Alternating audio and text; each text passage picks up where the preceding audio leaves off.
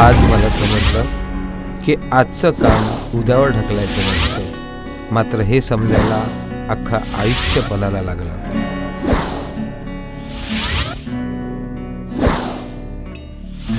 कुणीतरी म्हटलंय की कल करे सो आज आणि आज करे सो अब.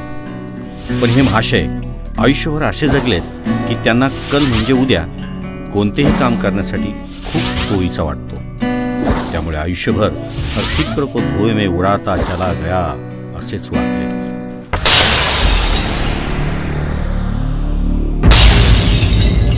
आता मी तुम्हाला काही वर्ष मागे घेऊन जातो. आज त्याचा जन्म झाला.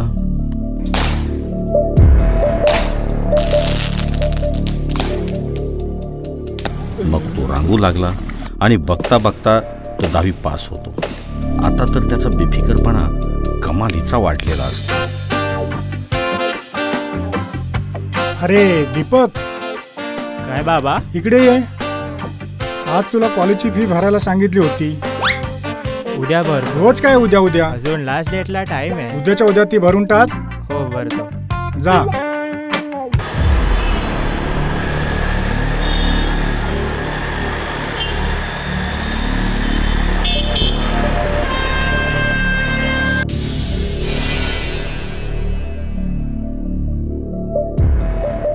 बाबा ग्रॅज्युएट झालोय मी. अरे वा वा वा वा. छान छान छान. एक काम कर. हे पैसे घे आणि आजच्या आज पेढे वाट. पेढे? आज? उद्या वाट. प्रत्येक गोष्टीत उद्या. आता त्याचा हा आळस म्हणावा की अंगवळणी पडलेली सवय. आणि आता तर त्याच्या मित्रांनाही त्याच्या कोणतेही काम. उद्यावर ढकलण्याच्या स्वभावाची सवय झालेली आहे. त्यामुळे त्यांनीही ते अजाणतेपणे स्वीकारलंय असंच म्हणावं लागेल. दीपक बाय अरे काय बाय. बोलतो? काय मंडळी हो. वाटतं? बाकी काय चालू आहे? बस चाललंय. तू बोल. बाय आज आपल्या घरी जेवायला. काय बोलतो? पार्टी. बाय पार्टी आहे. अरे भाई पाहिजे ना स्पीकर पण चड्डी घालू नको फुल पॅन्ट घालून पाहिजे हा? चल निघतो मी। काय निघालाच बाय? हा चल. हा जरा काम ओके बाय बाय. हा अरे हा बोल ना बाय. मला उद्या बोलायला याला बोलायला. अरे तू काय येडा आहे काय? तुला माहित नाही काय त्याचा स्वभाव कसा आहे? तो आज बोलवलं तरी तो उद्याच येणार हसण्यावारी घालवलेली गोष्ट. आयुष्यात त्याला कठीण परिस्थितीत घेऊन जाते. आता हेच बघा. आदल्या दिवशी मुलाखतीला बोलवलेल्या ठिकाणी हे मासे दुसऱ्या दिवशी पोहोचतात. साहजिकच नोकरी थोडीच ह्याची वाट बघत बसणार आहे. चांगला आहे. मला जसा हवा होता तसाच कॅन्डिडेट आहेस तू. तू काल का नाही आलास? साहेब मला वाटलं आज आलं तर चालेल. खरंच माझा नाईलाज आहे. तू फक्त उशीर केलास. तू काल याला हवा होतास. ये आता तू चल. ये. ये ये. मी कामात आहे. ये. ये आता तू चल. ये ये. हे कोण आहे रे तिकडे? बघ बोलव त्याला. उद्या करतो. उद्या जातो. उद्या बघतो. या अशा स्वभावामुळेच त्याच्या हातून अनेक नोकऱ्या निसटल्या तरीही त्याला कोणतीच फिकीर नाही. नशिबाने आज त्याला नोकरी मिळाली. तरी स्वभाव बोललाच. उद्यापासून आलं तर चालेल? बरं ठीक आहे. थँक्यू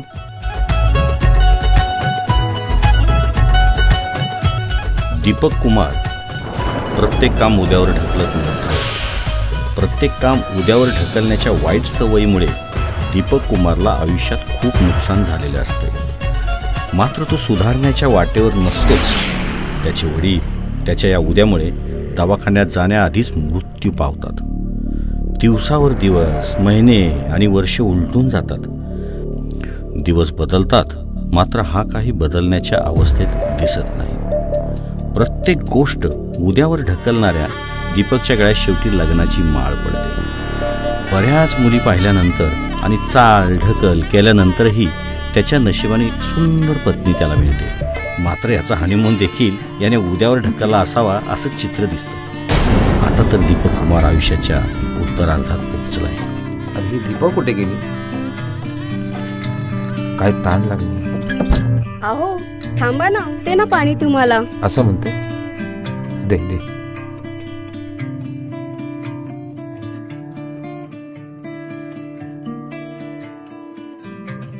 अहो ऐका ना. काय ते? आपण आज मस्त पिक्चरला जाऊया का? दिसतंय ना मी थकून आलोय. पहिलं पाणी पिऊ दे. अहो असं काय करताय? जाऊया ना. आजच जाऊया.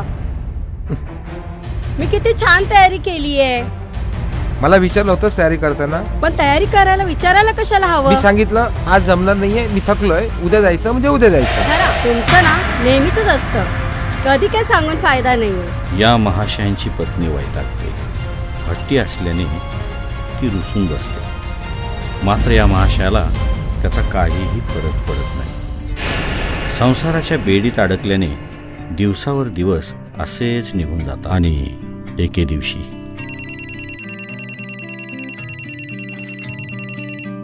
हॅलो? हॅलो ताई मी दादा बोलतोय. हा बोल ना. बाबांना खूपच बरं वाटत नाही. काय? कधी? कारण डॉक्टरांनी सर्व नातेवाईकांना बोलवलंय. ठीक आहे. हे सुद्धा ना नेमके आत्ताच बाहेर गेलेत. त्यांना मी कॉल करते आणि ते आणि आम्ही लगेच निघतो. ह्यांचा ना नेमका फोन कधी लागत नाही.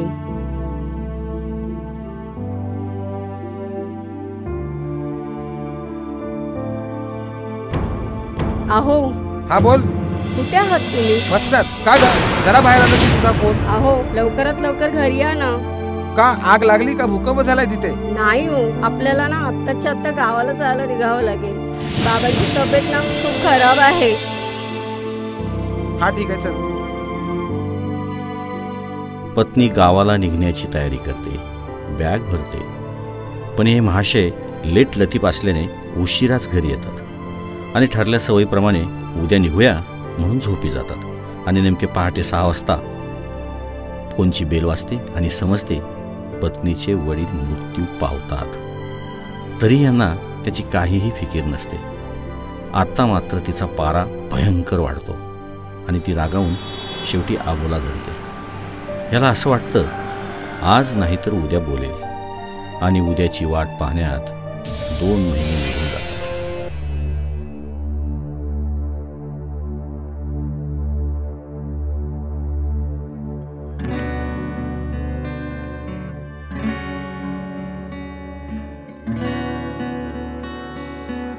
काय रे? तिकीट? ए जा. नको. उद्या घेतो जा. दीपकराव सवयीप्रमाणे तेही उद्यावर ढकलतात. मात्र त्याच्या मित्राला त्या गरीब मुलाची दया येते आणि तो तिकीट नाईलाज असतो त्याच्याकडून विकत घेतो. आणि काय आश्चर्य चक्क त्या तिकिटाची दहा लाखाची लॉटरी लागते.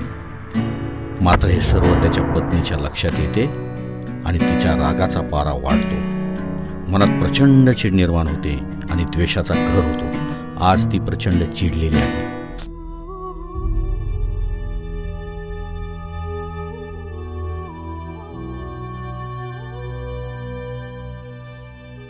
सांगा.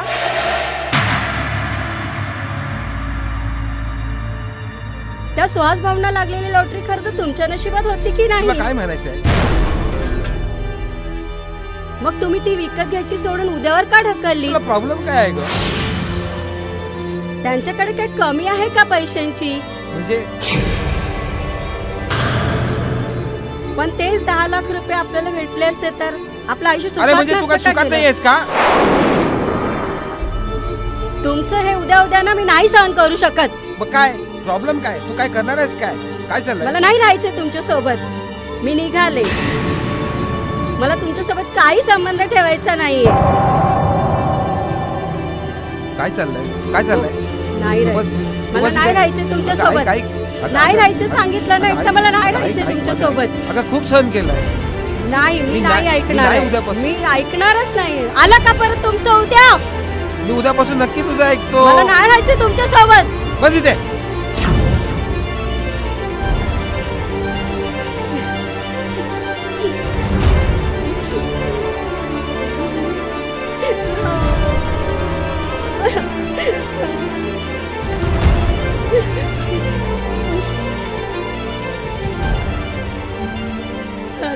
दादा. मला ना उद्या सकाळी घरी ये. मला राहायचं नाही आहे मला खूप कंटाळा आला यांच्यासोबत.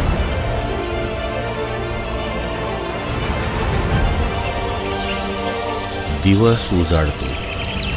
पक्ष्यांची किलबिल सुरू होते. जीवनाचा रहाटगाडा पुन्हा जोमाने सुरू होतो.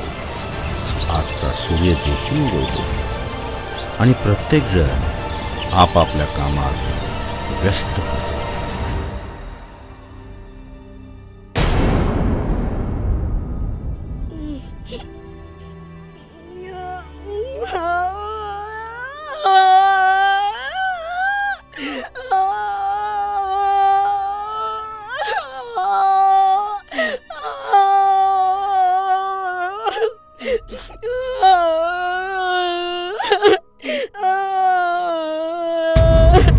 मात्र दीपकराव उद्या पाहण्यासाठी या जगात